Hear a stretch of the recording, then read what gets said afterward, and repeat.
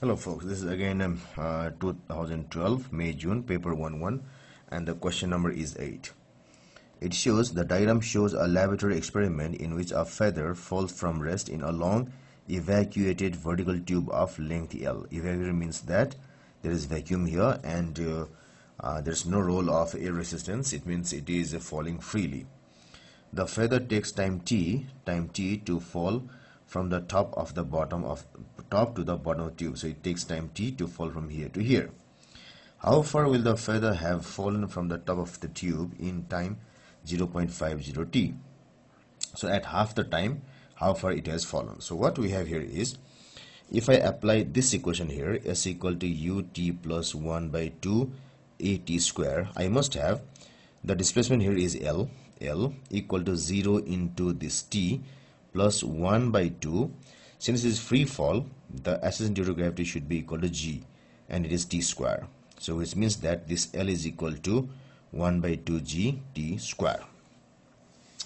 Now let's say that it has fallen a certain distance uh, let us say x certain distance x uh, distance x in the time given as in the time given as 0.50 t. So in such case we have instead of L we have got X is equal to 0 into T. It is 0 because the initial velocity is 0 into T plus 1 by 2 the solution is same for all. And in case of this T it will be it will be in case of this T it will be 0.50 T and then whole square. So it will be equal to this is 0 it is uh, 0.5 into 0.5 is 0.25 so 0.25 into 1 by 2 gt square. And the half gt square here is equal to L. So I must have this x equal to 0.25 into L which gives the correct answer choice as choice number B.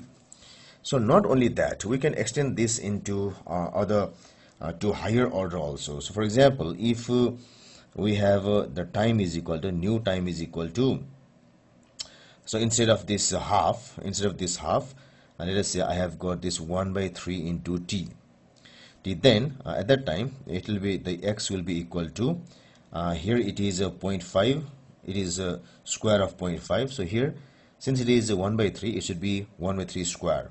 So x will be equal to 1 by 3 square square into L which is equal to 1 by 9 L if t is equal to 1 by 4t then x will be equal to 1 by 4 square l which is equal to 1 by 16 l. So that means so we can extend this into a larger perspective.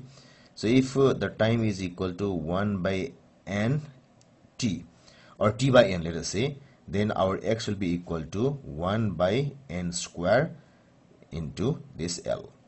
So we can make up a formula with uh, this type of problem. So our correct answer choice is choice number B.